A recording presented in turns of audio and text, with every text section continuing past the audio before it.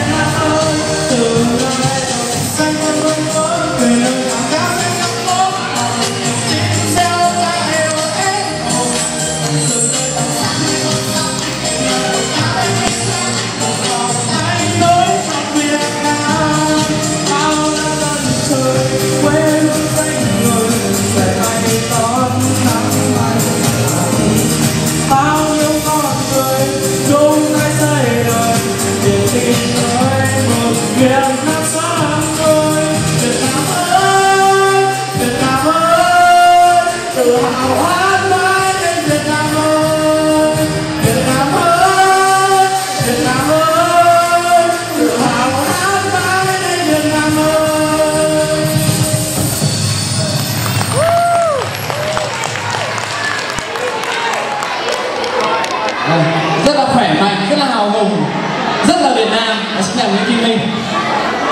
Hãy dành cho bạn Kim Minh ra một tràng vỗ tay về hát Việt Nam ơi. Sau đây sẽ là phần nhận xét của ban giám khảo dành cho Kim Minh. Xin mời giám khảo Đào Tiến Lợi.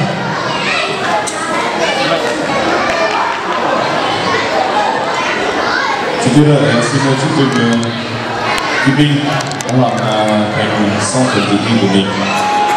Có thể nói đây là một bài hát ờ, rất là mạnh mẽ và khỏe khoắn, tiết tấu rất là sôi động.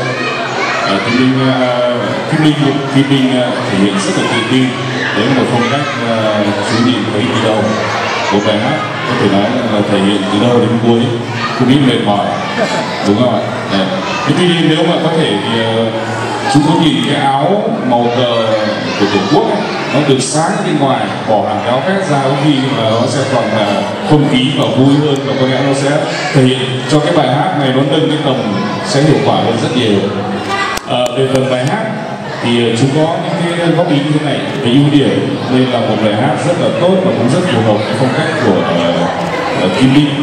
Một bài hát rất là nội lực và khỏe tuy nhiên về nhược điểm thì có một chút một chút xíu thôi. Đó là những cái nốt thấp uh, Kim Linh phải để ý xử lý sao cho nó rõ lời.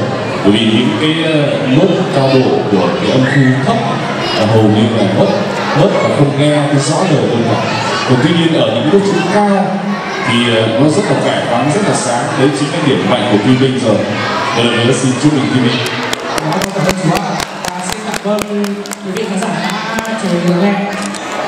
Mã số bình chọn của Kim Linh là 100. Các bạn ờ, để bầu chọn cho Kim Linh hãy nào